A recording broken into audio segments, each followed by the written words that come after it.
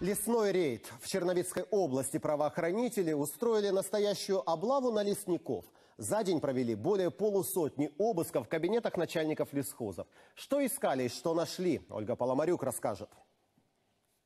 Бухгалтерская документация, фиктивные печати, штампы иностранных компаний и даже оружие. Такой улов сотрудников прокуратуры и СБУ в офисах руководителей лесных хозяйств Буковины. Рейд провели в пяти лесхозах и национальных парках.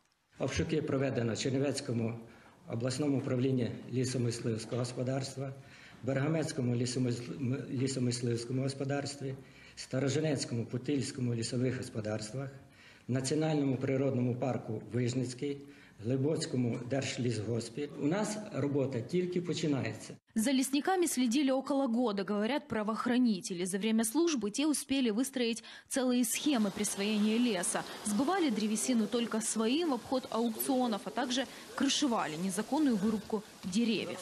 Існує повна схема якраз розподілення цих коштів, отримання цих коштів, і в цій схемі задіяні всі, починаючи від лісника, закінчуючи певними керівниками цих лісогосподарських підприємств. Впрочем, пока правоохранители изучают изъятые документы, директора лесхозов продолжают работать, но от камер прячутся. В Стороженецком лесхозе, к примеру, нам не удалось пообщаться ни с руководителем, ни с его замами, ни даже с бухгалтером. Отказались комментировать ситуацию и по телефону. Проводились у вас обшуки в лісгоспі? Я коментарів ніяких не даю, вибачайте.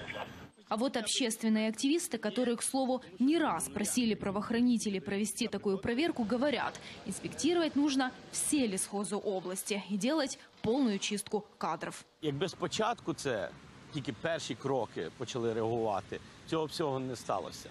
А так вони навіть їх попередили і е, знаючи інформацію, що будуть обшуки, вони себе вели дуже спокійно. А за злочини вони мають свої відповідати. По результатам лесного рейда уже начаты пять уголовных производств. И на этом правоохранители обещают не останавливаться.